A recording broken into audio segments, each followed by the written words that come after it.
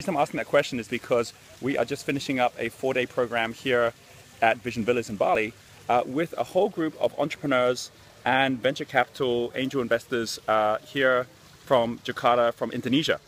Uh, this was actually set up, uh, the initiative started with Peng Ong, who runs Monks Hill Ventures. Uh, he raised a fund for uh, companies here in Indonesia. I first met him at Singularity University.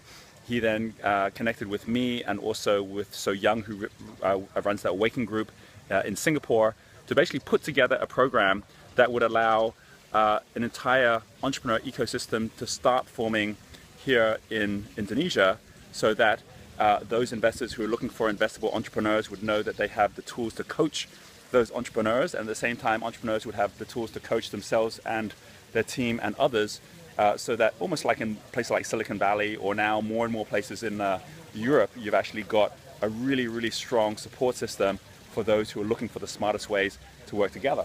So here, I mean you can see here we've actually got um, a whole uh, number of uh, entrepreneurs working together uh, and just going through exercises to get really clear. At this point, they're going through an exercise to get really clear what is their number one uh, key attractor in their business, which makes all their customers flock to them, and number two, what is their viral growth strategy, which allows them to keep on growing rapidly. Um, many of them already have raised funding.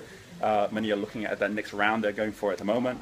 Many are in tech companies, but in almost all cases, they're, they're trying to figure it out on their own. And so creating an ecosystem which allows us um, to be able to support each other is something which really has never been really done at the way that it's now starting to be done here in Indonesia.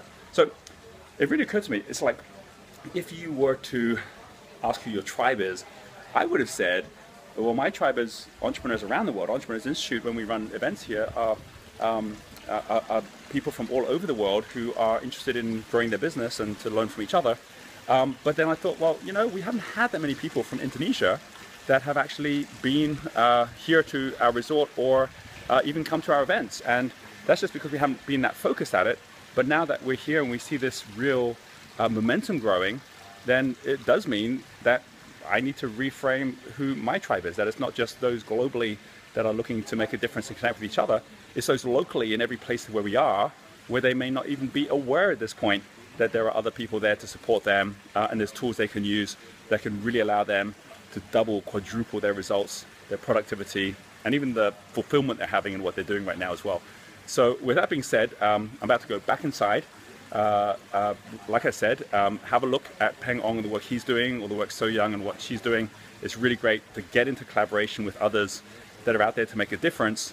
Um, and just thinking differently about our tribe, it's also uh, made me kind of like question um, what kind of commitments that we're now making to make that difference. I mean, like we've all made commitments to actually get back together, to continue to grow and evolve this back in Jakarta and around Indonesia.